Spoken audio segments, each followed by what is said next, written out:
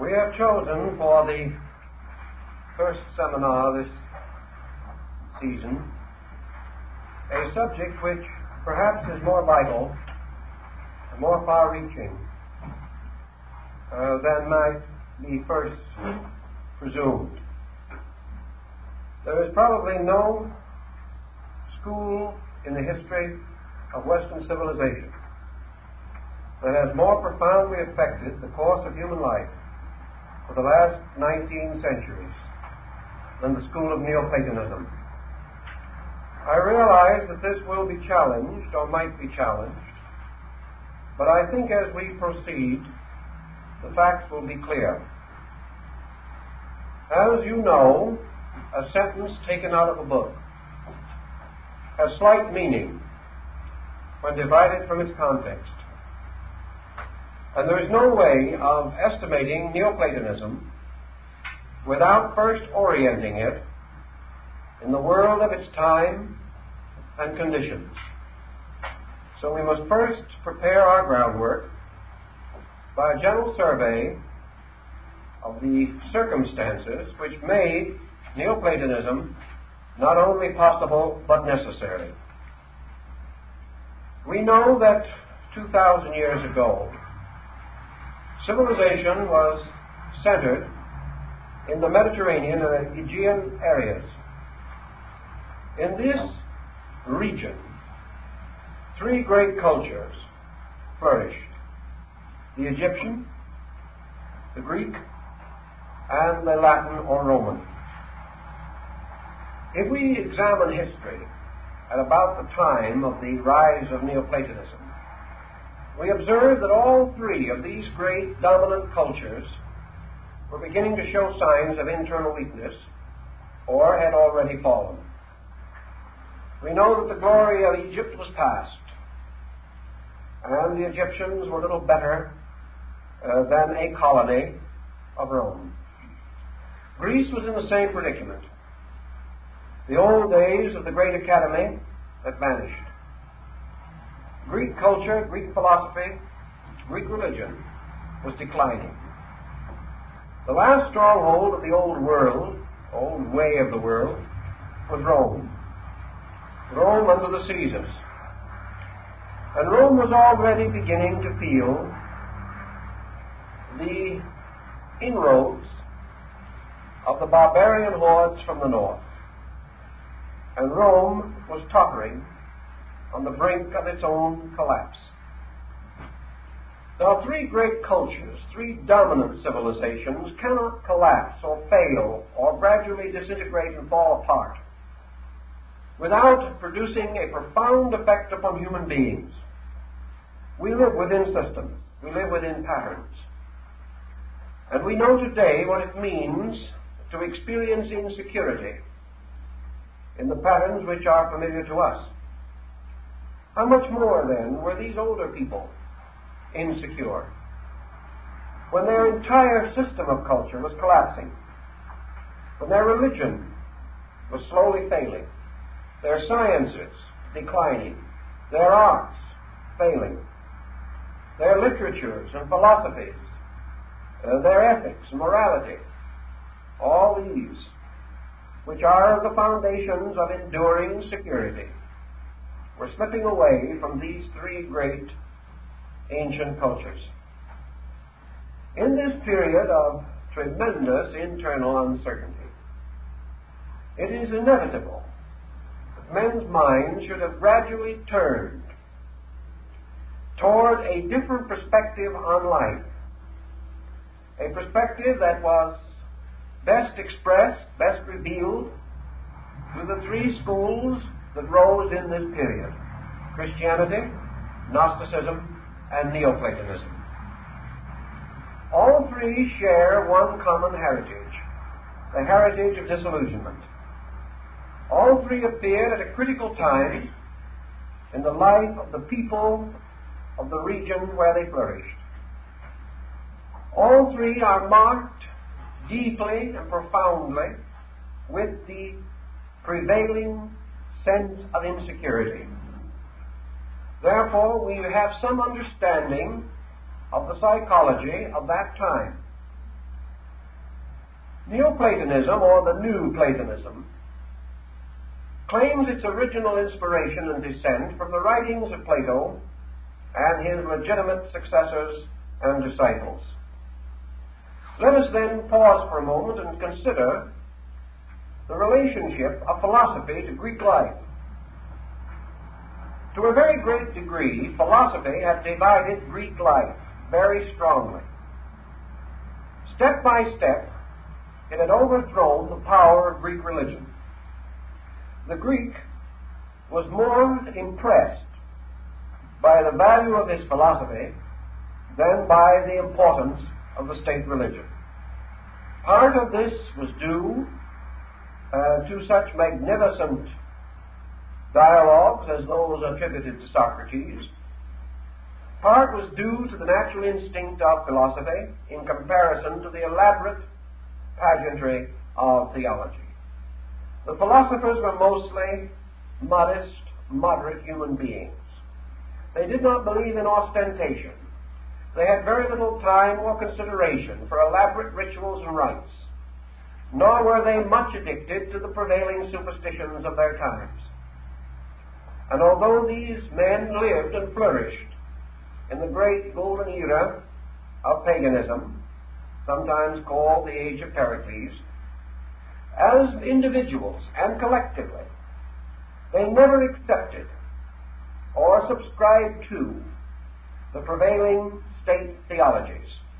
Uh, they were discreet, they were respectful for the most part, sometimes not entirely so. But they felt that these systems of state religion were themselves becoming gradually encrusted with superstitions and were falling inevitably into the hands of privileged classes to be used as ways and means to further enslave and dominate the individual, and restrict his liberty and freedom and his right to think. Thus, the philosophical systems of Greece whether they be the doctrines of Plato and Aristotle, or the more rationalistic concepts of the Stoa, all of these emphasized a reasonable, rational, natural world. Even when the deities are introduced, these deities are introduced in a rather matter of fact manner. They are not introduced with great solemnity, but they are accepted interpreted, and organized and arranged to become part of a very natural, proper kind of world. A world in which, for the Greek, there was very little emphasis upon what we would term today mysticism.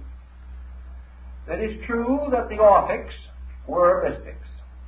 But by the time Orphic doctrine had passed through Pythagoras and Plato, very largely its mystical content have been redirected into fields of philosophy. The Greeks considered the human being and his salvation a very serious business.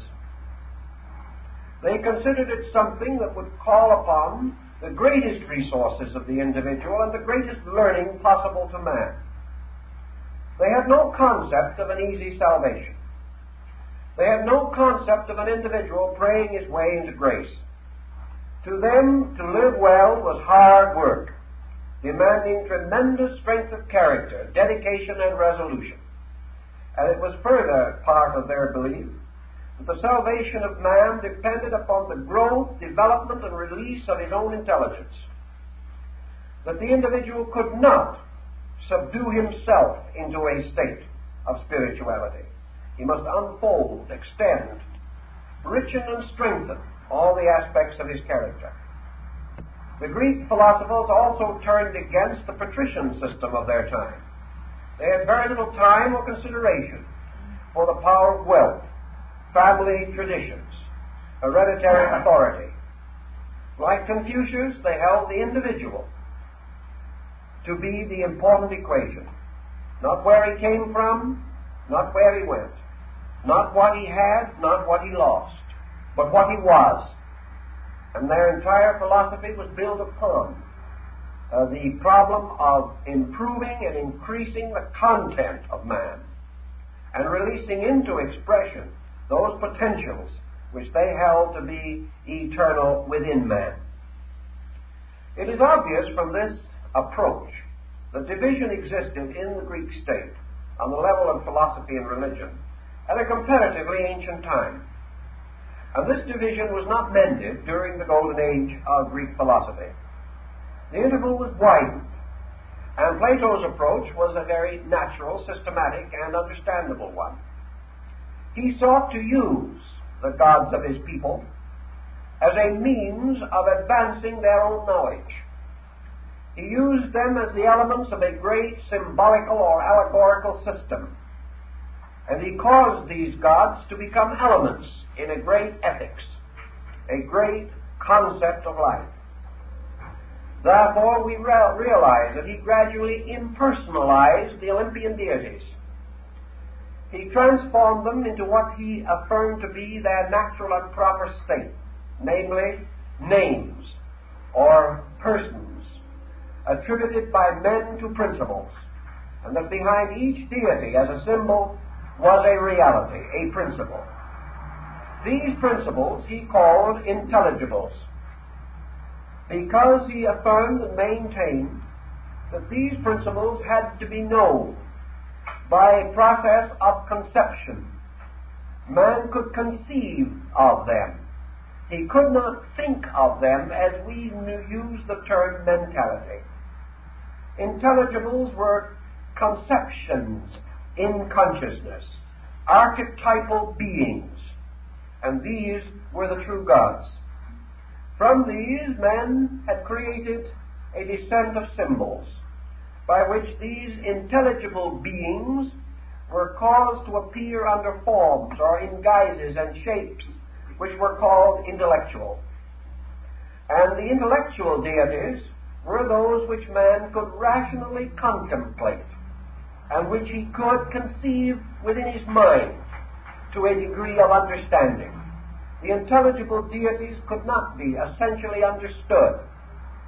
The intellectual deities could be. Thus, we see the traces of an important psychological doctrine. We see the gradual rise of ideas concerning the essential nature of the universe itself. During his long career, Plato passed through three distinct periods. The first of these might be termed his political career, and uh, this led to the final disillusionment, in which he decided that public office was not the best way in which he could serve his fellow Grecians. So he retired from, from politics and created his school and became a teacher, declaring it was wiser to be a teacher of men than a leader of men. This school continued for a number of years through the long and active life of Plato. And perhaps the outstanding episode in the development of this school was the contact with Aristotle, who was brought to him as a young man and placed under his care. Aristotle became his most critical, at the same time most brilliant disciple. And uh, the Athenian school is recognized as having produced these two extraordinarily different but remarkably enlightened men. In the third period of his life, Plato began to drift away from philosophy. He began to drift towards the inevitable end of philosophic contemplation, namely that the individual becomes more and more aware of the great intelligibles or eternals subsisting forever in nature and in time and in eternity, would naturally contemplate them, would feel himself more and more akin to these vast principles, which he had first discovered intellectually and later meditated upon intelligibly. This led toward the third part of Plato's career, which has been termed the theological.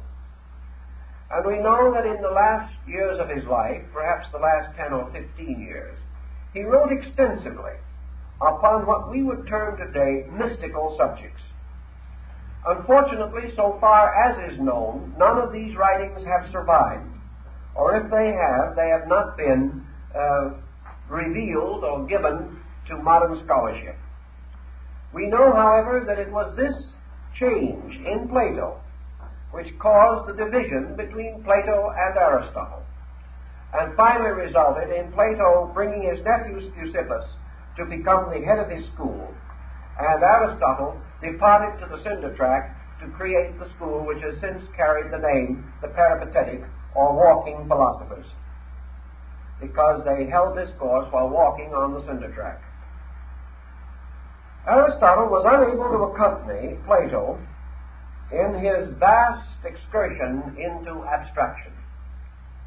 But we know from the general tone of his later dialogues that Plato was moving more and more toward a very reverent attitude in relation to the great principles that lie at the roots of things. Philosophy with him had borne its natural fruit.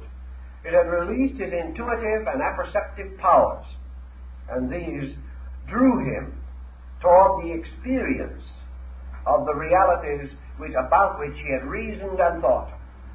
He intimates something of this in the Socratic dialogues, where he causes Socrates to point out uh, that man is drawn inevitably toward the grave, or toward the transition to another life, in which either there will be darkness, or else the person surviving as a spiritual being will find union with those principles and truths which he has sought and served, and will know through factual experience that which previously has been only theory, speculation, or judgment. And Plato himself moved precisely in this direction, and it is greatly to be regretted that his religious writings have not survived. The motion of Platonism itself, therefore, established a pattern a pattern which we have more or less ignored, but which was still alive and vital in the opening years of the Christian era, within three and a half centuries of the lifetime of Plato himself. Now, with this background uh, relating to Platonism, we must come then to the transition to the Neoplatonic school of thought. Neoplatonism was rooted in the three cultures uh, which were passing into desuetude at that time. Neoplatonism perhaps had its original seat in Alexandria. If so, it had a secondary seat in Rome and a third in Athens. These three centers became the legs of the Neoplatonic tripod.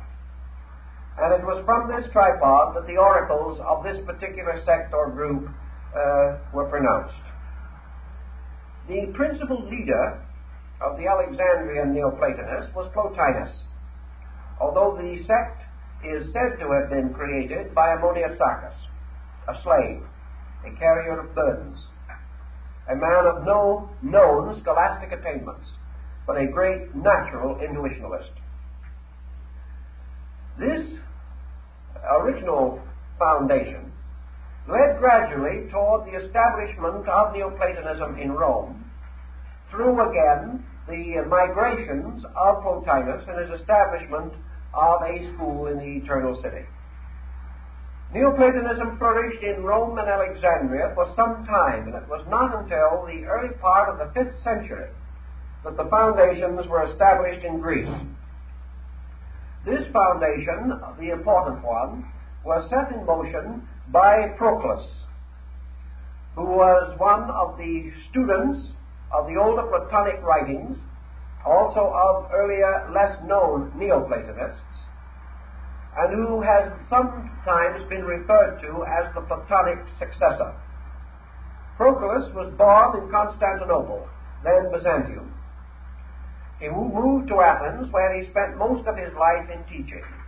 Finally, as a result of the uh, religious differences of the time, particularly uh, the intervention of Christianity, he was in exile for a short time in the Near East, but later returned and finally died in Athens. Proclus was a man of exceptional abilities, and he may be regarded as the last of the great lights of Neoplatonism.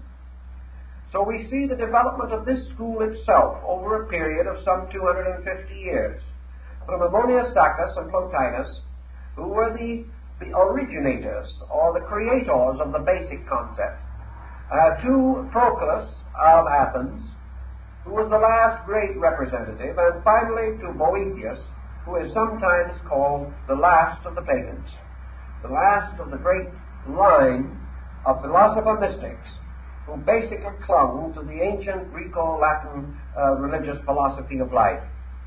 Uh, these uh, followers, these disciples of the old way, were gradually exterminated, and the last of the pagan academies in the Roman Empire uh, were closed by the Emperor Justinian.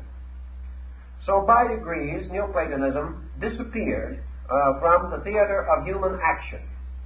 But its disappearance has sometimes been said to be the beginning of its existence.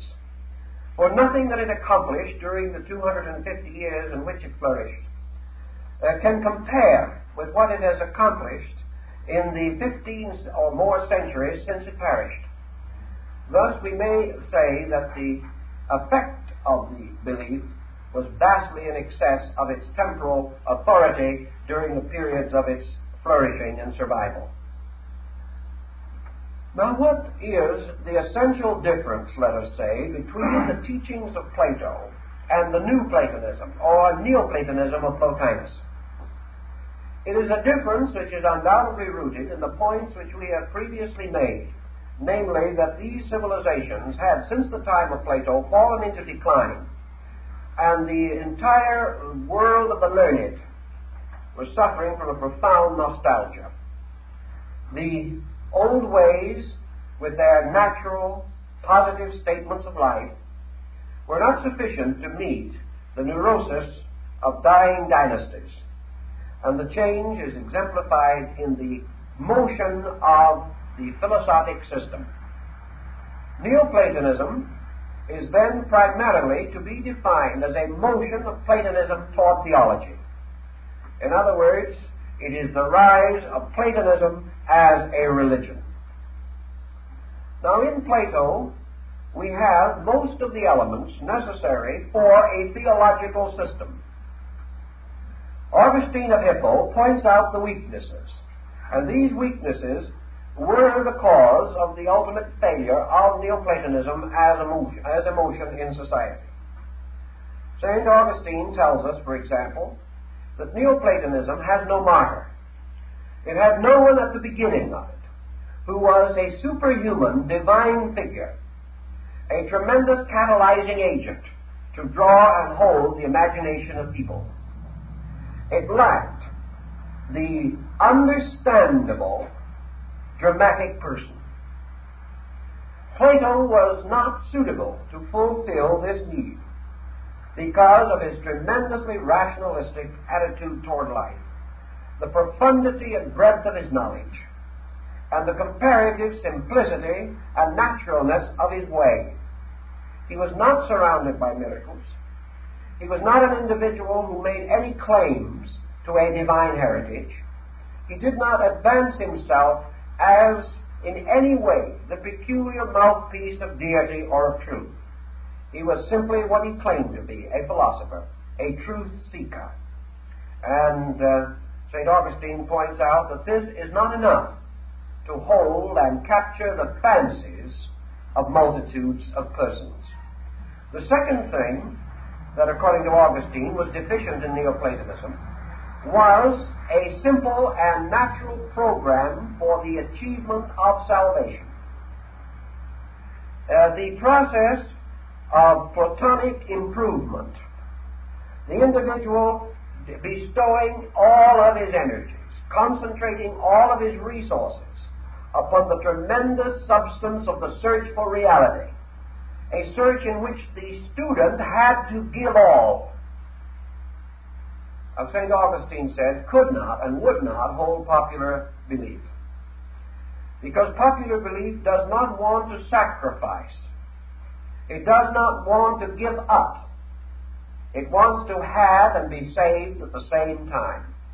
It wants to keep its faults and have these forgiven. And there was nothing in Platonism to substantiate this concept.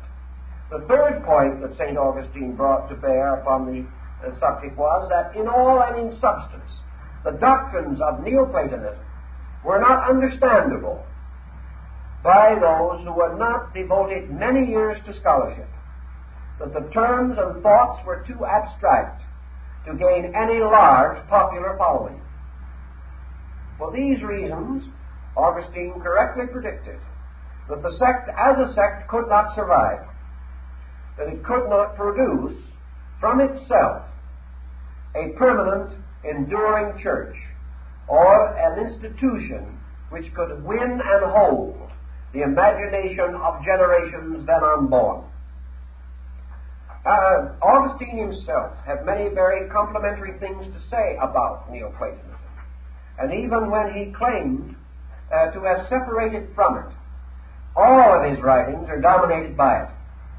And one authority has stated not long ago that it is impossible to, de- to detect the belief of the author of a book, whether he be a Neoplatonist or a Christian, unless he makes specific reference to Christ. Otherwise, the works are so similar, so comparatively identical, that it is impossible with certainty to distinguish which sect the author belonged to. This perhaps is even more complicated by the fact that many of the thinkers of that time belonged to both sects and considered it in no way heretical or unreasonable. uh, the Bishop Synesius of Alexandria accepted uh, ordination as a bishop in the Christian church under the condition and proviso that he could remain a Platonic philosopher in his private life. And the church accepted and ordained. So we have this uh, interesting uh, situation arising at the beginning of this belief, this sect. Now, with this general representation of the difficulties, let us take a little time to examine some of the essential doctrines of Neoplatonism, particularly the compilation that was prepared by Proclus in Athens in the 5th century, and which, is, uh, which survives to us as the books of Proclus on the theology of Plato. Uh, these books are no longer, as we say, known to exist, but it is possible that Proclus had access to manuscripts that have since been destroyed or have been buried or hidden where they have not been refound. But in any event, Proclus appears to have known or have made a very shrewd estimation of the dominant religious convictions of Plato during the closing years of his life. Now we remember also that this work of Proclus was one of the last of the Neoplatonic works. Therefore, it represents the school in the closing cycle of its own brief but very spectacular existence. Deriving, however, much from Plotinus and other legitimate members of the Neoplatonic community, Proclus unfolds what he regards as the true key uh, to the Greek theology. He roots it, of course, in the mythology and in the religious beliefs of the ancient Greeks. But he follows first Plato and then Plotinus in gradually reducing the essential elements of this mythology to a scientific system, to a philosophical pattern of conceivable principles. The first thing, then, we must approach is the combined view of Proclus, Plato, and Plotinus on the essential nature of being. In that, in that, all else suspends from this essential concept. In this way, of course, Plato differs strongly from Aristotle. Aristotle begins with what might be termed the phenomenal existence and ascends gradually toward a contemplation of abstract cause. Plato and the Neoplatonists begin with a positing of a conceivable abstract under the general concept of this intelligible being, a being beyond mind. Now, this simple statement perhaps is the most important statement in all of Neoplatonism the existence of a being beyond mind. Now, this was perhaps the first, also the first break uh, between Neoplatonism and the teaching of Plato. That is, that part of the teaching which we now know. It is very possible that this was the important change that Plato himself made, but we have no documentary proof of this. Certainly, however, the Neoplatonists lived much nearer to his time and might well have had access to a knowledge and tradition which we no longer possess. But Neoplatonism thus postulates a being beyond mind. Being beyond mind implies not only that it is beyond the mind of man, but that this being itself exists in a state superior to mind. Therefore, that this being is not mind, and nor can it be conceived by mind. Therefore, Plotinus insists that this being uh, can only be stated as an existent exact, uh, reality or fact, a fact in being itself, but may not be subjected to any definition or interpretation. That this being subsists forever in itself, of itself, and by itself.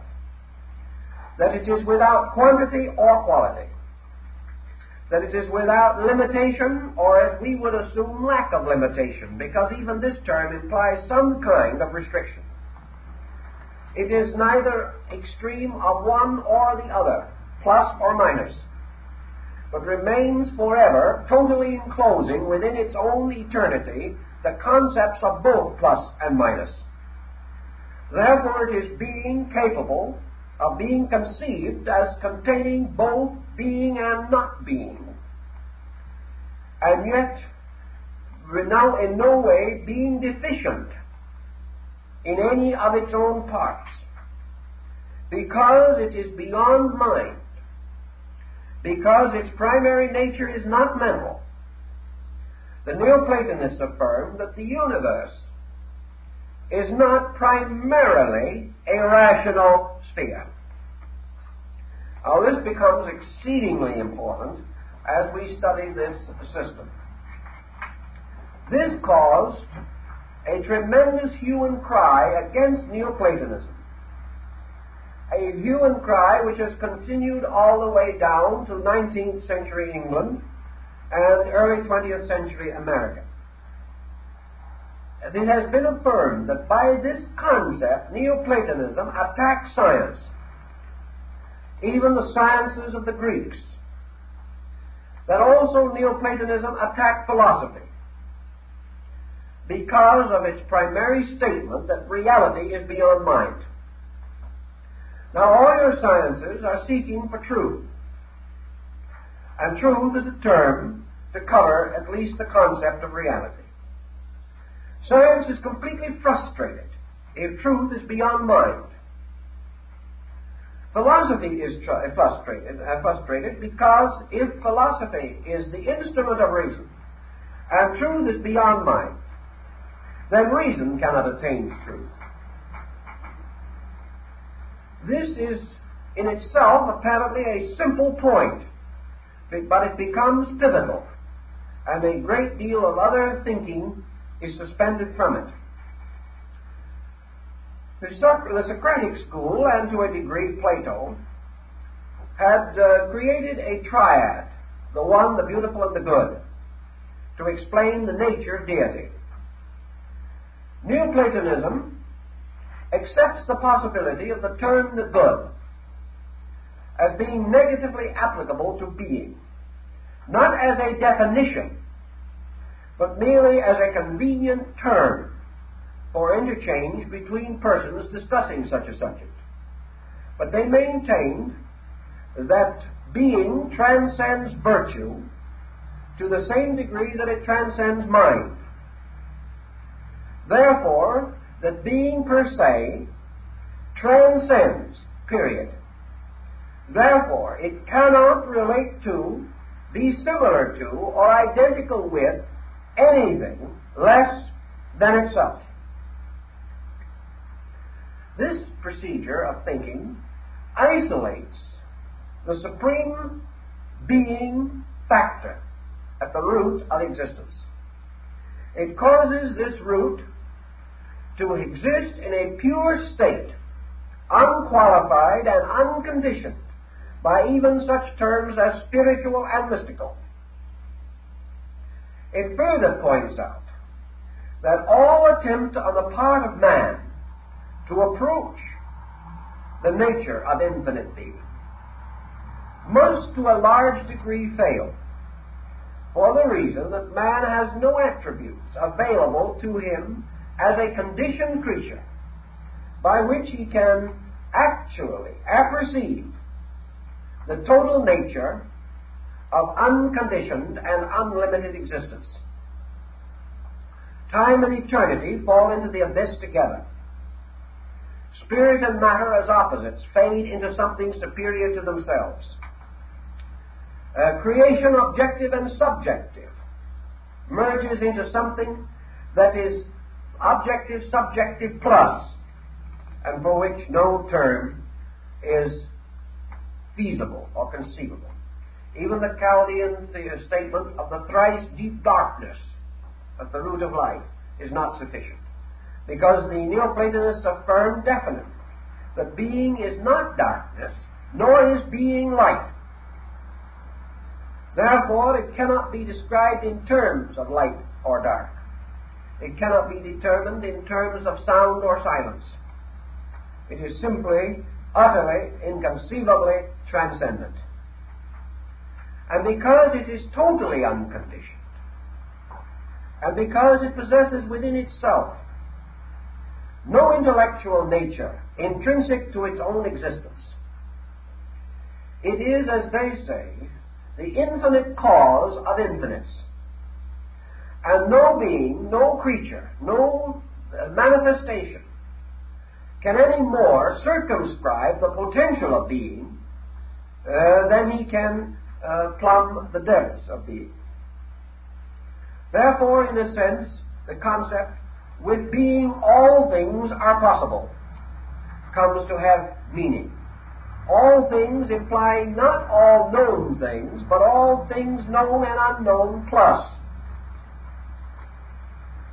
And little by little, the concept of deity is elevated to such a complete abstraction that, as Augustine pointed out, the mind of man, in his own limited way, not only cannot follow the thinking, but cannot visualize the end of the quest. He cannot conceive either of peace or motion, of rest or infinity, of immortality or mortality. All of these things disappear into an infinite mystery, a mystery that is totality. And this totality is very reminiscent of the most abstract concepts of Brahmanic theology, in which Brahm, the infinite, the unconditioned, becomes known only by its productions, but remains itself forever, the invisible root, the unknown cause of all causation. Now, obviously, this concept in itself challenged not only Greek theology, but Egyptian and Roman. It further challenged Christian theology because it stood with such a tremendous state of complete aloofness that it found very little immediate association with the beliefs of other groups. Yet it may well be uh, that in this concept, Plotinus, Iamblichus, Porphyry, Sallust, were close to some abstract formula derived from Plato.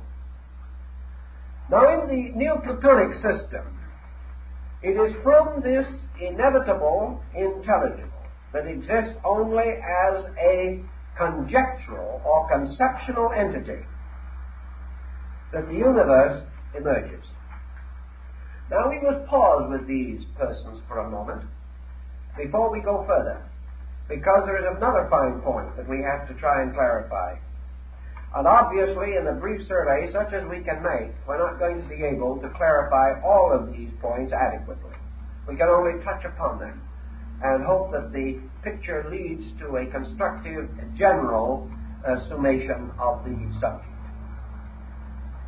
These uh, Neoplatonists were concerned undoubtedly with the nature, the essential nature of this unknowable. And we find them breaking somewhat within themselves into two groups relating to this particular mystery. One group assumed that the conceptual or intelligible being had a total and complete existence, eternal and forever, in the vastness of the universe itself. The second group had already begun to isolate a psychological concept. Namely, that total being, as a concept, exists only within man. Therefore, we have two systems. One, that man exists within total being, which is the reality. The other, that the total being exists only in man and is therefore a conceptual creature or being, which can be eternally affirmed but only exists because of the conceptual power of man himself. This could break and did break to form two great systems that are still fighting in the world today. But they were aware of this uh, possible interpretation and did everything they could to clarify their original meaning.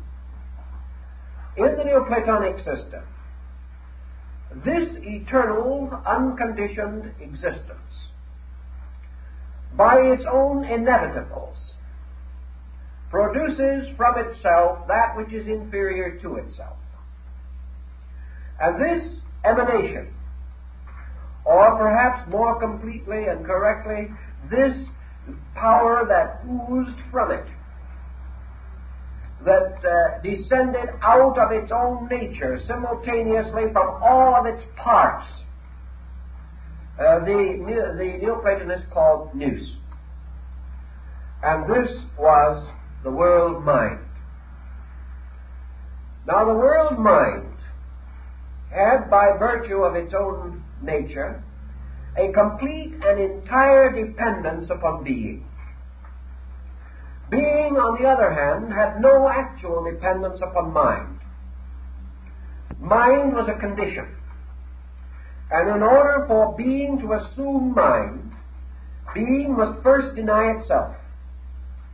Now we get very close to Buddhism, where that the where intellect or mind itself is the first illusion, for it is the first restriction or limitation of that which is in itself eternal and inevitable.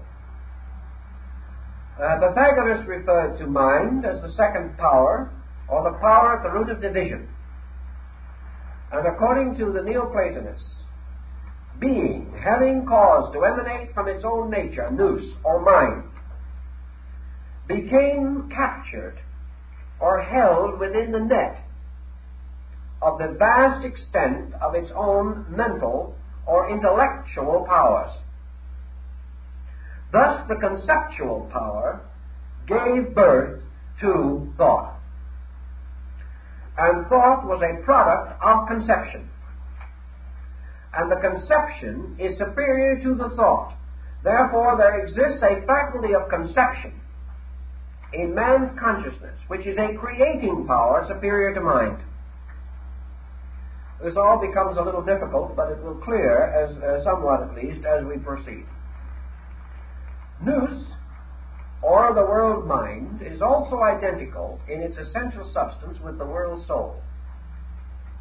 Why, why did the Neoplatonists conceive the mind and the soul to be identical? In this, almost anticipating modern psychology. They replied, it is identical because mind is the inevitable root of reflection. It is the inevitable ordinator of conduct, the per- perpetuator of records, the distinguisher of parts, and therefore is essentially the power by which man can reflect upon his own conduct.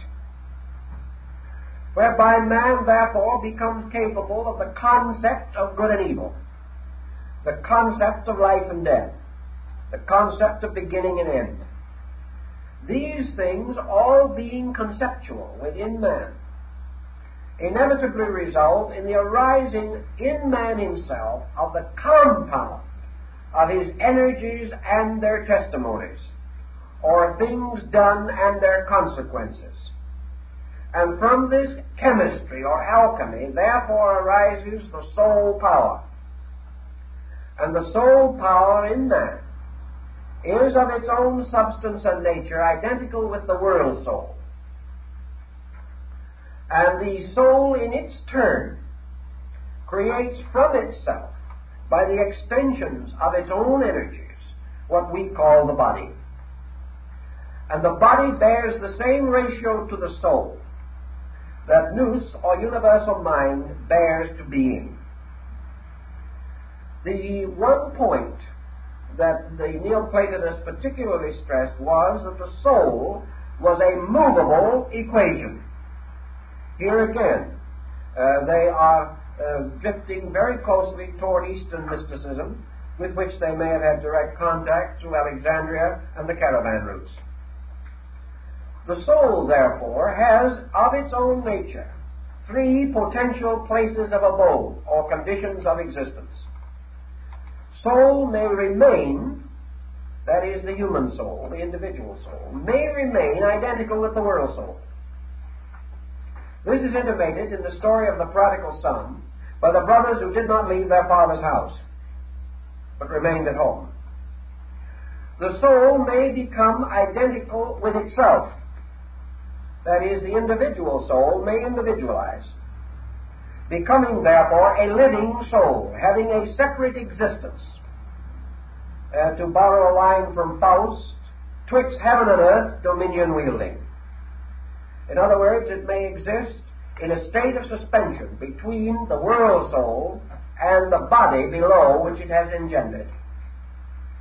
Or the soul, the human soul, may verge toward body, become immersed in it and as a result of that, lose its own identity by being submerged in or absorbed by the mystery of matter.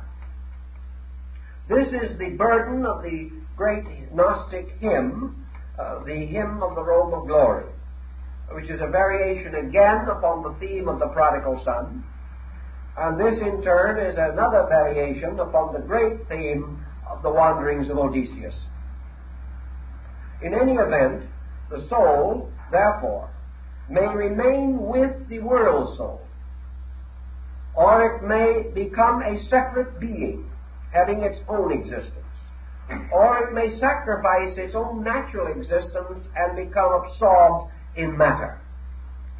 And the last in the story of Narcissus, who, seeing his reflection in the water, uh, plunged into the pool to embrace his own reflection and was drowned. This would be the descent of the soul into body. Uh, the uh, famous fable of Cupid and Psyche carries part of this story also. Uh, the fable was first originated and devised by Apuleius, and in it it is pointed out that after Psyche, the soul, had descended into the lower worlds, it ran about in a stumbling and erratic manner, unable to follow a true course. And this represented, of course, the soul involved in the complexities of a personal existence. Now, here we have something also that we do not have in the older writings of Plato or in most of the uh, teachings of that time, and namely the gradual emergence of the concept of the human soul, not merely as a part of a compound the soul no longer being merely the rational part of man, but now beginning to take on its own true psychic content and to have a sympathetic relationship with body below and with universal soul above. Uh, the adventures of soul in Neoplatonism definitely indicate their belief that what we call man's soul life is really the enrichment of the soul potency by means of experiences either derived from the world or derived from the soul of the world. Those derived from the world are called experience. Those derived from the soul of the world are called intuition or apperception. The individual soul, therefore, has an internal contact with a superior source and an external contact with an inferior body. Through both of these contacts, energies flow into the soul.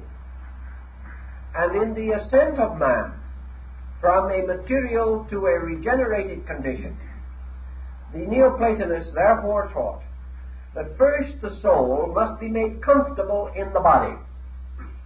Then it must be restored to its own life and finally, it must be returned to the world soul, or the universal life.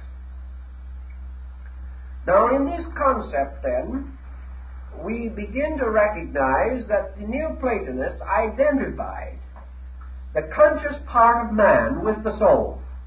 Now, this was uh, also more or less according to the, the Platonic system.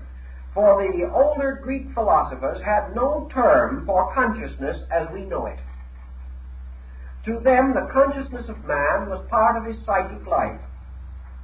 Here again, we come to the Eastern concept of the sattva, or self, which is not an eternal and imperishable being, but is merely the compound of the various attitudes, convictions, beliefs, ideas, attainments, and limitations of the complete psychic nature at any given time. So here we have the soul capable of returning to the world soul. And in this return, fulfilling its existence on a psychic, emotional, mental level. This, in substance, is the basic emphasis. And nearly all Neoplatonism is concerned mostly with this problem of the soul. It is not concerned nearly as much with the nature of deity as with the primary problem of what was called the fall of man and the problem of the regeneration of man. Now, dealing on this, or dealing with this entire subject psychologically, as they did, they did not conceive the fall of man to be the result of a curse or of some evil doing they considered the fall of man to be primarily the caused by innocence. In other words, just as the small child finds itself in difficulties and is unable to orient itself or extricate itself because of its own immaturity, it was inevitable that souls, once they had an individual existence, would move towards and verge to involvement in elements and conditions which they did not and could not control. Thus, as the universe is an infinite diffusion of conditions, souls having an individuality immediately were moved to experiment with these conditions, following the same instinct that we have today, that the unknown is an endless temptation and an encouragement uh, towards adventure. Plotinus describes individual souls as suspended like effulgent blossoms from the body of the world soul.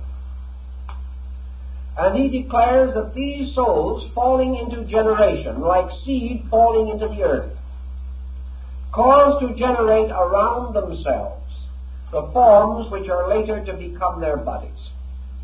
And just as the body of the plant grows from the seed, so the body of man grows from a primordial seed, which is the soul. And it is no more difficult to explain how the soul of man shall cause the body to come forth from it than it is to explain how the, the acorn can cause to come from it the great oak tree. Actually, bodies are built from soul seeds, and these seeds are sown in space. And these individual soul seeds, the moment they begin to build bodies, pass toward evolution, or pass toward an ultimate state of re-identification. All bodies are extensions of the soul toward unity. The fact that we have hands and feet are not primarily for the convenience of the body, but in order that the soul within the body may attain expression or release. And all release is toward re-identification with the world soul. Thus, the moment the seed is planted in space, at that moment the journey home begins. The journey home does not begin when the individual decides to be good or wise. The journey home begins with the atom, with the electron, with every form of life, conscious or unconscious. The mineral is journeying home the moment it forms its crystals. The plant is journeying home the moment it sends down its root or causes its first small shoot to rise through the earth. All things start home the moment they start releasing. And the release of the psychic energy and the formation of body is the beginning of this long way back to our own far distant native land. Thus, Neoplatonism is essentially a doctrine of the redemption of the human soul. But it differed from Christianity in the fact that it did not include any messianic dispensation or any power outside of man as contributing finally to the release of the soul. Neoplatonism did not believe in a fallen humanity, therefore did not believe in a redeemer, any more than it would have accepted a redeemer for the wheat that is cast in the earth and will bear its harvest tenfold. The natural growth of life is inevitable was an assumption by which their entire concept was motivated.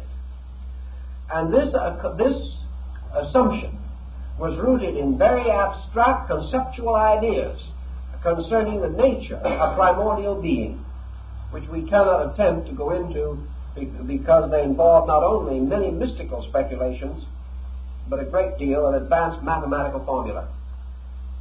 So we must content ourselves with the simple thought that Neoplatonism is therefore a story of man's growth and as a story of growth, is also a discipline of growth. Now, in the problem, then, we have again Proclus pointing out certain elements of the Platonic philosophy, which led to a further division between Neoplatonism and other systems growing up in the society around it. One of these was that the entire emphasis in Neoplatonism being upon the release of soul through and from body, and with the complete purpose of life vested in growth alone.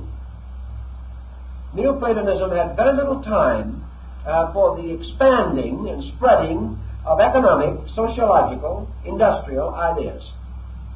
It was not concerned to any great measure with the extent of man's terrestrial domain. It would never have inspired exploration. It never would have led to this great rise of modern nations, such as we know, with their intensive competitions, uh, their vast mortal projects. It would never have produced a civilization of individuals highly conscious of the wealth factor. It would not have produced these things because these people were not of this mind. Here again was one of the reasons they did not survive. They were out of tune with the most natural instincts with which man at that time and in future time also has been invested. But in Neoplatonism, the entire project deals with the actual release of the individual. When accused of selfishness and being self centered, they replied that to their mind their policy was by far the greater good, inasmuch as the only security that man can know in the material world is a security based upon an enlightened civilization in which each individual is doing right. Under such condition, wrong cannot exist. Therefore, the individual who devotes his life to the restoration of his own essential nature, if he increases in number and multiplies and becomes a dominant class in society, nearly all of the false ambitions of men will gradually be overcome. They can only be overcome when they are conquered within the individual and not by legislation or by the collective growth of society, because there can be no growth of society that is not sustained by the growth of the individual. So they held a very strong and definite attitude on this matter. Now it would follow from their thinking that they derived much comfort from other philosophies, including certain phases of Persian mysticism, Hindu philosophy, Buddhism, Greek and Egyptian metaphysics, all of these subjects contributed to the broad pattern of the Neoplatonic concept. And in this concept, we gradually see emerging what they might term their way of life, their way of truth. And perhaps this way of truth was stronger than St. Augustine suspected, and not nearly so uncertain as he is inclined to imply. Neoplatonism definitely did have a systematic order for growth. This order for growth was based upon the great laws of analogy, which they held to be very important, the relations or similarities between man and the universe, and between individual soul and universal soul, individual body and universal body. All these analogies became involved in their disciplines. They began by assuming and affirming that men gather together or live together at this time in a state of common benightedness, and that exceptions to this benightedness are rare, almost unique, and only a few true exceptions exist in any century. And they held that the exception should be the rule, and that the only reason why the exception existed is because some individuals for one reason or another, and they believed in rebirth, did achieve to a greater sincerity of intent and purpose, and that any exception to the general ignorance was clear indication that any and all other individuals could also be exceptions. That man possessed within himself a potential which could be redeemed and regenerated. And that until man recognized that this was his primary task, he would never achieve permanent security, peace, or enlightenment. And for this common state in which men live together, uh, the Neoplatonists had the term opinion. And they considered opinion to be the lowest form of man's psychic life. And that by opinion all men are commonly burdened either by their own opinions or by the opinions of others. And what are opinions? Uh, opinions are parasitical growths. Uh, they are concepts which have no validity, having no source in reason or in judgment, arising not from knowledge, but from lack of knowledge. Therefore, a certainty arising from lack of knowledge is called an opinion. A certainty arising from lack of knowledge may be the most certain of all certainties. And there is no individual who is willing to defend realities more industriously than the opinionated are willing to offend their opinion defend their opinions. Now, why is an opinion wrong? What is about what is there about an opinion? An opinion is a judgment passed without due examination. An opinion is a conclusion based upon appearances and not upon substances. An opinion is an immature, ill defined uh, situation.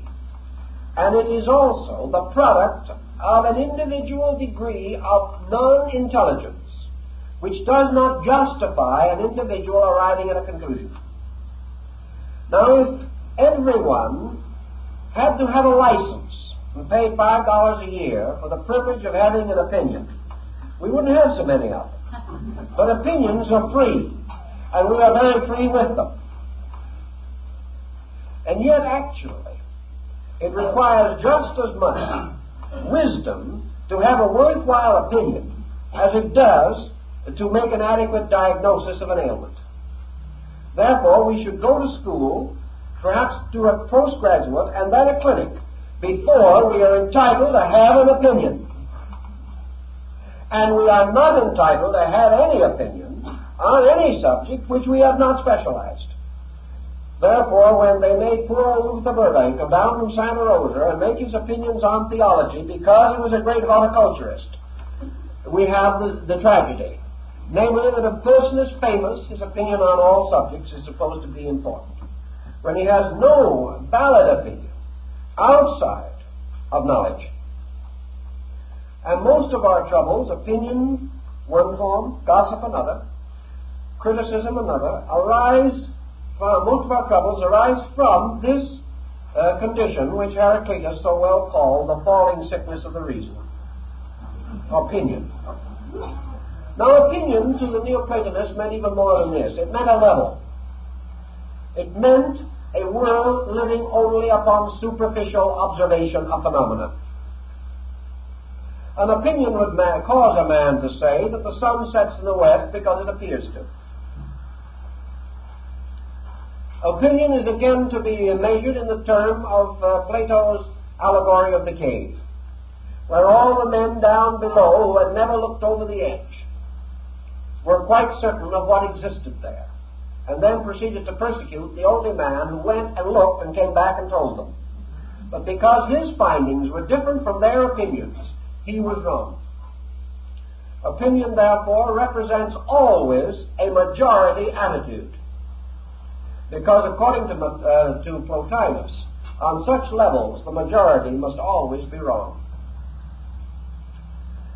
The opinions of the majority, however, must not be confused with the intuitions of the majority, because that is quite different.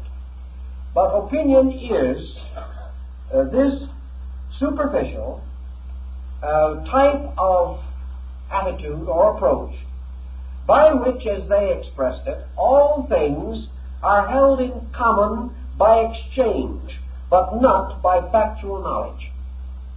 Therefore, when we say something, and affirm it because we have heard it, read it, or been told it. We are passing on an opinion. Now, an opinion usually in Neoplatonism does not apply to a phenomenon that is generally shared by men. Men do not have too many opinions about the fact that water is wet, nor do they have too many opinions about day and night. Opinions, therefore, are most dangerous where facts are the least available. Consequently, most of our most complicated opinions are on levels where together we do not share any adequate factual knowledge. And the moment uh, we attempt uh, to come to a conclusion beyond our knowledge, we fall into opinion unless we are trained. And by training have learned how to extend the known reasonably and rationally. Now, above opinion and superior to it is sense. Now, sense to the Neoplatonists conveyed um, what we might term common sense. A very rare commodity, but one uh, which is invaluable common sense has been held to be certain uh, apperceptive or intuitive uh, realizations that we share. Common sense is the expression of subjective experience. Anything that we have gone through ourselves, anything we have done ourselves, or anything we have thoroughly, rationally digested ourselves may become available to us from the subconscious under the general form of sense. It therefore is that faculty by which primitive people are able to achieve an amazing validity in conduct or in the solution of problems. Sense is the individual solving or approaching an issue on the level of his own intelligence, uh, but with all available, observable elements considered. Sense may not infer greatness of reflection, but it does infer breadth of observation and the ability to estimate the relationship of things seen to other things which may not at that moment be apparent. Therefore, it is association. It is the con- continuity by which uh, we learn from moving one stone how to move many stones, and how from hollowing out a log to make a boat, we can gradually and inevitably move until we can create a great ocean liner like the Normandie or Queen Mary. These motions are the gradual extensions of common sense. They are the individuals building upon the foundations of the achieved and moving toward that which must yet be achieved. This also, however, lies on the level of matter very largely, and material things. But common sense also becomes the second level of philosophy, because common sense produces the homely, practical, natural philosopher. Unschooled, unskilled, he becomes capable very often of a tremendous integrity of penetration. We think of, for instance, a, a slave like Aesop, whose fables show an uncanny penetration. And yet all of these fables represent things which the average person could know, could understand, could experience. But he did. There is nothing involved that is beyond what might be known to a slave. But many slaves would not know it. Common sense represented then that Aesop was able to call upon this experience and find in it the common links with the experiences of innumerable other creatures like himself. Some in slavery to a physical master, and others in slavery to an ambition or a passion or a concept. Now, above the level of sense uh, comes then the level of knowledge. Now, knowledge is more than sense, because a sense is a probability based upon experience. A knowledge goes beyond this. A knowledge implies a combination of actual attainment and a measure of experimentation Therefore, we can say that knowledge could very well Neoplatonically be built upon the Baconian foundation, and Bacon followed Neoplatonism. Namely, that knowledge is built upon tradition, observation, experimentation. Obs- tradition uh, makes available to us a wealth of material that may or may not be knowledge but supplies us with the raw materials relating to fields of endeavor that have been conquered or achieved by others. Therefore, tradition is actually the historical record of the experiences of other persons. This becomes a valid source of knowledge, but is not in itself knowledge. Therefore, to tradition we add observation. Observation causes the individual uh, to observe the application of tradition to the contemporary uh, events of living. He can see with his own eyes and feel upon his own skin uh, the operation of certain laws, certain facts, and learns more and more uh, to, therefore, censor tradition as to its validity or its lack of validity. Then he adds a third element, experimentation. And experimentation is the process of putting a belief to action and observing its consequence. Now, for no other form of knowledge is there an equal substitute. Because no matter how much we may believe or we may hope, we may fear or we may aspire, all things are subjected to the final test of application. And it is only when we have taken a tradition, observed the world around us and the operations of these traditional factors, then subjected them to the laboratory technique of experimentation, either in our lives or on a scientific level, can we then affirm that we are in the possession of knowledge. Such knowledge as belongs to physical things can be usually tested by laws of physical matter. Knowledge relating to intellectual, moral, or spiritual matters must be tested by the laws of these levels, which may be various kinds of application in our own living. If we follow our own advice, we will know whether or not we will fall into the ditch.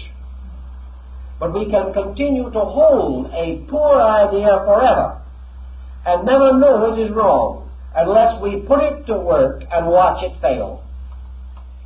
That is why so many people with so many ideas seldom if ever apply them. They have a secret suspicion that they are not going to work, and they will not expose themselves to this situation. Now, above knowledge, we approach gradually to the highest levels of learning. And we come to that which is superior to knowledge, and that is wisdom. And in Neoplatonism, the term wisdom applies primarily to those who have, as a motivation or a moving springboard to conduct, a well developed contemplative internal life. Wisdom arises from the contemplation of knowledge. For knowledge in itself always tells more than itself, if it is valid. All things known have imponderable overtones. The moment we establish the fact of anything, we come into a vast field of implications relating to that fact. Antecedent causes which must be presumed to exist. Uh, subsequent effects which must be assumed will follow. So the aura of knowledge extends from itself into the contemplation of principles.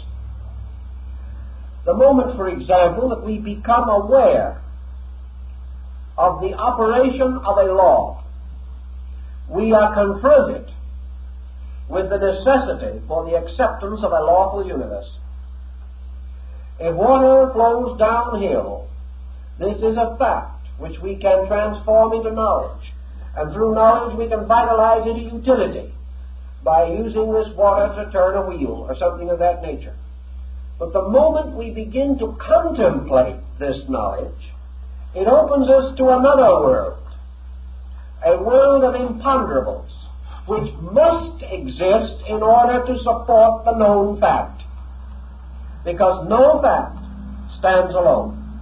No knowledge is complete as a fragment. Therefore, the contemplation of law and order, the study of a snowflake or a crystal in a rock, the moment we contemplate knowledge and arrive at the inevitable conclusions that knowledge forces upon us, we verge toward wisdom. For wisdom is the creation of a setting in our understanding great enough to encircle all knowledge. For knowledge is suspended from principles, and these principles are its inevitable causes. So wisdom stands as a crowning power. And in wisdom, we achieve that degree of development by means of which we are urged or moved toward the life of wisdom. For having observed, having rationally experienced, having reasonably demonstrated, we are inevitably impelled to a personal standard of conduct conformable with the level of wisdom which we have attained. Conduct on a level superior to wisdom cannot be maintained. Conduct on a level inferior to wisdom cannot be tolerated. Therefore, the attainment of wisdom is really the beginning of an internal dominance over externals. Wisdom causes the mind to move gradually and inevitably uh, from an acceptance of effect to a recognition of cause, and causes us gradually to transfer our allegiance from particulars to principles. Thus, from understanding and wisdom, we come to gradually perceive the outlines of the intelligible deities, the conceivable realities that lie beyond mind. We have now ascended through the levels of body and the soul's three polarizations its association with body, its association with itself, and its association with the world soul. And we have come to that point in the discipline of Neoplatonism in which we stand on the threshold of a universe which has gradually enlarged, as it enlarged for Plato, as it enlarged for Plotinus, until at last we stand, as it were, upon the edge of a cliff, looking out into an infinity and our road ends at the edge of the cliff. And there are only three choices possible to us to retrace our steps, remain on the cliff, or jump into space. Any one of these three courses may be followed. But, in all probability, as wisdom cannot be less than itself, we cannot go back as wisdom will never be content to remain as it is, we cannot stay where we are. Therefore, the very demand of the pressure itself moves us inevitably towards this mysterious step into infinity. This step was the final exercise of Neoplatonism and was that division which is called theurgy. And theurgy is the individual coming face to face with the impossibility of the objective or philosophic or even contemplative attainment beyond wisdom. Now he has bridges, and Neoplatonism pointed these bridges out. While man is in ignorance, a glimmer, a glimmer of sense is within him. While he is sensible, a glimmer of knowledge shines within him. When he knows, a glimmer of wisdom shines within him. And when he beyond, goes beyond knowledge and beyond wisdom, a glimmer of something else shines in him. And this glimmering of something else is by means of a bridge or a, a kind of rational magnetic or auric field which surrounds the fact itself, and which the Neoplatonists call inspiration, or in some cases, intuition. In other words, man begins to recognize beyond wisdom a new standard of knowledge. A standard of knowledge which is rooted in the substances of realities themselves. In other words, in the conceptual forms which he has called principles, and which the ancient Greeks called the gods. In the great orders and hierarchies of conceptual beings, the individual, uh, having attained wisdom, becomes dimly aware of the magnificent blossoms that are floating in eternal being, like the lotus upon the surface of the water. And he realizes as we all realize finally, that the answer to every question that is vital and is real lies in this profundity, in this mysterious something that is forever beyond the grasp of the reason, that is forever beyond the power of the intellect to ordain or integrate. then we come to the final step in the Neoplatonic concept. Namely, that man, having exhausted the potentials of soul, these having been exhausted because he has exhausted the potential of the world soul. Because the world soul is not identical with being, but is subordinate to it. Therefore, as being produces soul, soul is deficient in something. Because the superior is always greater than the inferior, and the creator must always exceed his creation. So when we reach the extension, or the ultimate, of the rational soul through the cultivation of the highest aspects of contemplative wisdom, we have exa- exhausted the power of the world soul to carry us further.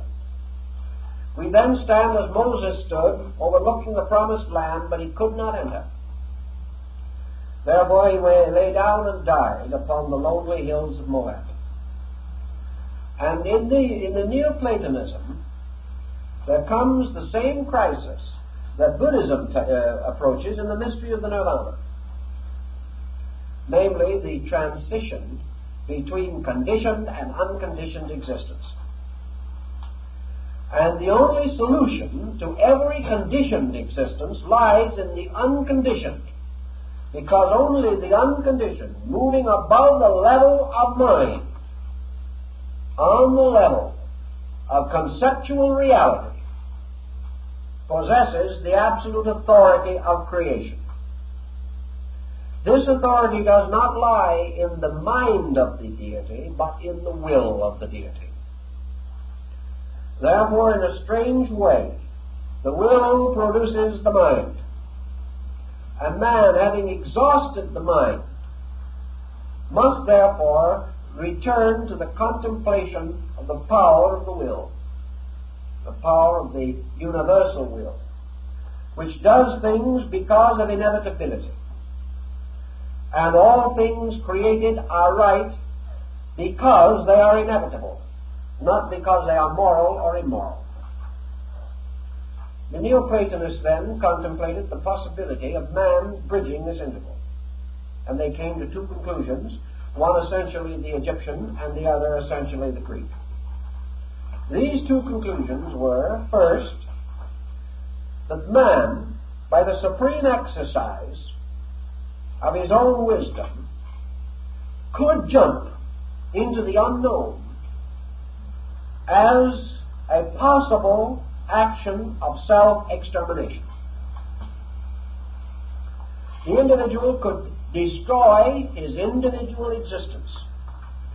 He cannot do it until he has exhausted its requirements.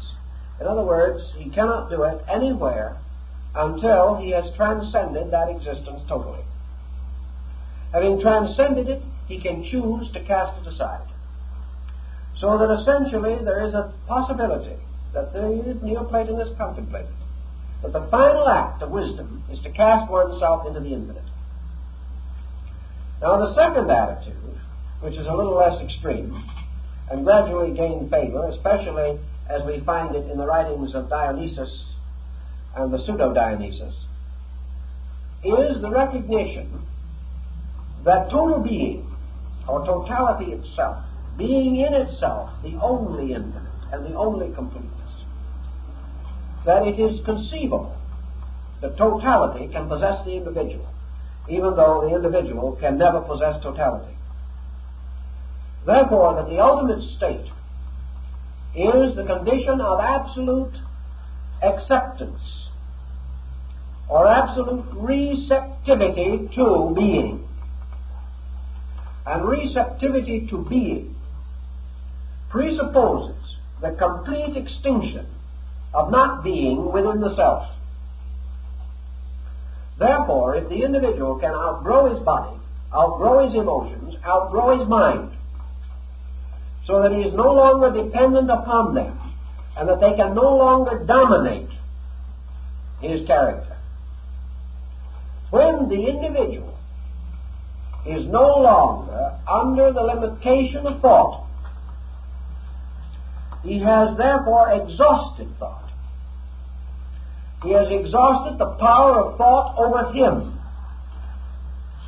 The Neoplatonist contemplates this problem. When the individual has outgrown thought, what is left?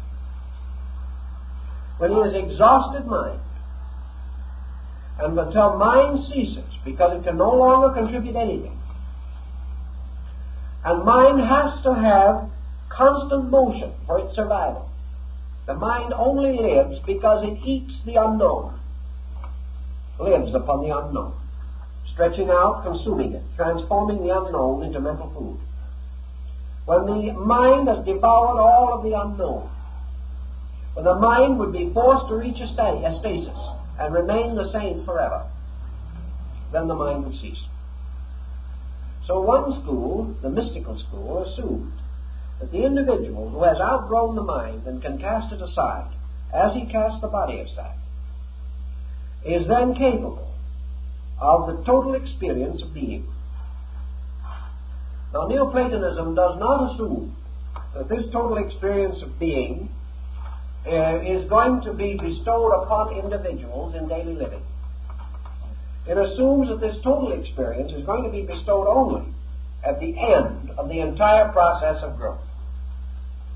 Now, the Neoplatonists, however, did have a particular and definite doctrine, namely, that at various stages in the transition periods, particularly through those transitions which relate to wisdom and move toward intuition, when man is reaching the rim of wisdom and his intuitive and apperceptive powers are beginning to grow, he may and does receive an occasional flash, an illumination, an apperception of that which lies beyond. In other words, they originated the concept of what we call the mystical experience. They recognized it as flashes of complete integrity, not constantly available, but possible to man under certain conditions. And that by these intuitive or inspirational occurrences, which Plotinus declared he had experienced six times during his life, the individual becomes for a moment aware of some phase or attribute of being, not being in total, but something superior to his present condition. And because such superiority transcends that which is normally experienced, it may be mistaken for an ultimate, but it is not an ultimate. In the mystical experiences related by Plotinus and other Neoplatonists, one particular and interesting element is always present. Namely, that these experiences present an effulgent revelation of something that is in, around, about, and an essential part of everything that exists. These experiences did not relate to motion. They did not bestow a particular knowledge of any subject. They did not answer any question. In a strange way, beyond our concept of dimension, they simply answered question as it is. Not a question but the, the entire mystery of question. They bestow the seal of certitude, a tremendous authority blazing through the things intellectually or intelligibly uh, comprehended or apperceived. So that suddenly an eternal value or eternal quality bursts through the universe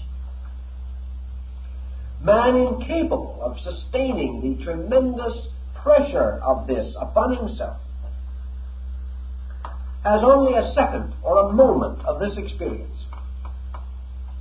And Plotinus was convinced that if it was extended for any length of time, it would consume the individual completely.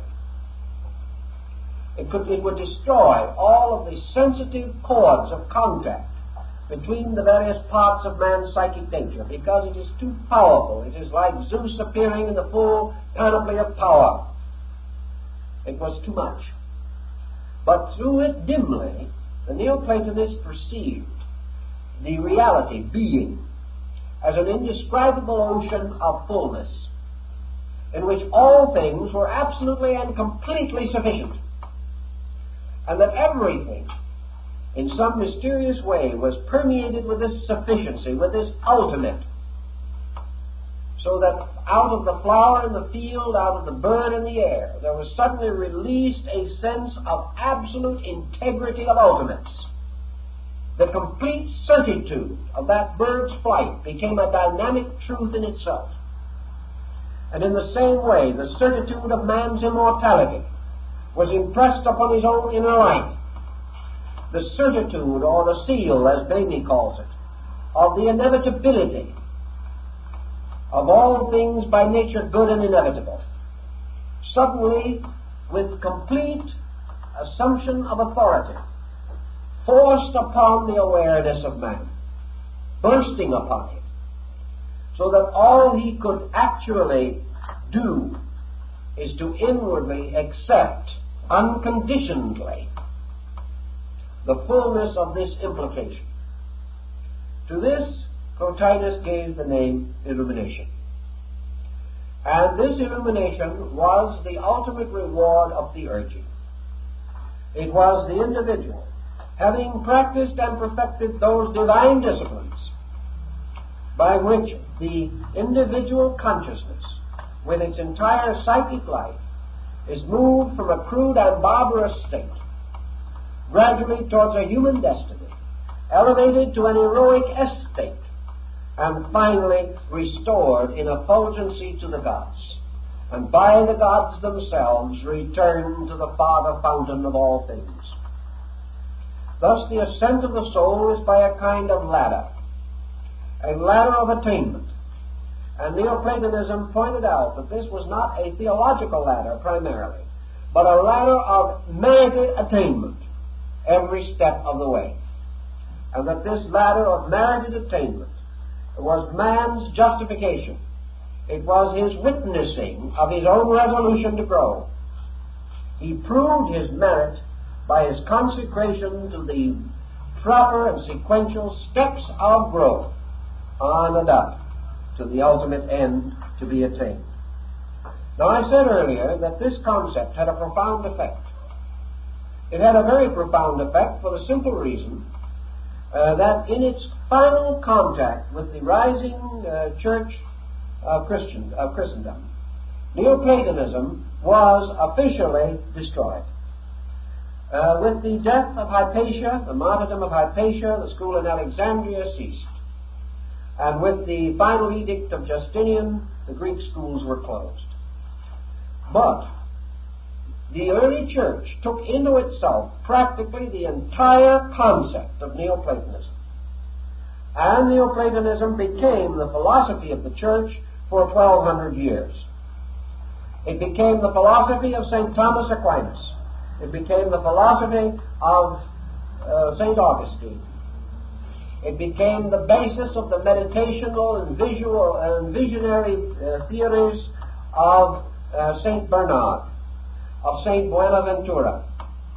It inspired the entire mystical life of St. Francis de Assisi. And gradually, moving forward, did the one thing that no one expected to do, it to do. It turned man's minds ultimately from theology to economics. And in the 17th century, under the great revival of the Cambridge Platonists, this very Neoplatonism, which had seemingly led to the renunciation of the world, set the foundation for what we call the scientific method of life. Uh, as we go through the series, well, we'll be able to explain more and more of how this operated. Until today, the average American citizen's thinking, in almost any subject in which that thinking is reasonably correct, that thinking is 90% Neoplatonic. As Emerson pointed out, all philosophy is Plato restated. And to a great degree, it is true of Neoplatonism rather than of the direct Platonism. because our entire contact with Plato in Europe and the Near East for a thousand years was through Neoplatonism. Thus, the very fact that we have a democratic form of government, that we have the common law, uh, that we have law and equity, these things are based largely upon Neoplatonism. Uh, the fact that we have empiric medicine, the fact that we have laboratories to carry on scientific research in infantile paralysis and heart problems, these things are the indirect outgrowth of the conditioning of the European mind during the medieval period by Neoplatonism. So while the system itself seemingly disappeared, it prepared the way for this concatenation of knowledge. It gave us the public school. Comenius, the father of the public school system, was a Neoplatonist. And it began the concept of a grade school, of high schools, colleges, and special institutions. It gave us the whole concept of a gradually, sequentially unfolding knowledge. It prepared also for most of the atomic and physical research of the present time because the uh, Platonic and Neoplatonic concepts of deity as life and energy were based, of course, upon the atomism of Democritus and Leucippus and the atomic speculations of Socrates. All these things moved together. Neoplatonism carried them across, spread them, and diffused them. And our modern world, in those parts in which it is more or less civilized, and in those parts in which it has more or less of a good spirit, and is seeking to grow is largely a Neoplatonic world. And most of the morality and ethics of Christendom, Christendom is Neoplatonic. So the diffusion of this subject has been immense. We've only been able to lay a certain foundation for it at this time, but we think perhaps we better let it rest now until next week and give you a chance to sort of catch up and get everything organized. So we'll see you again next week.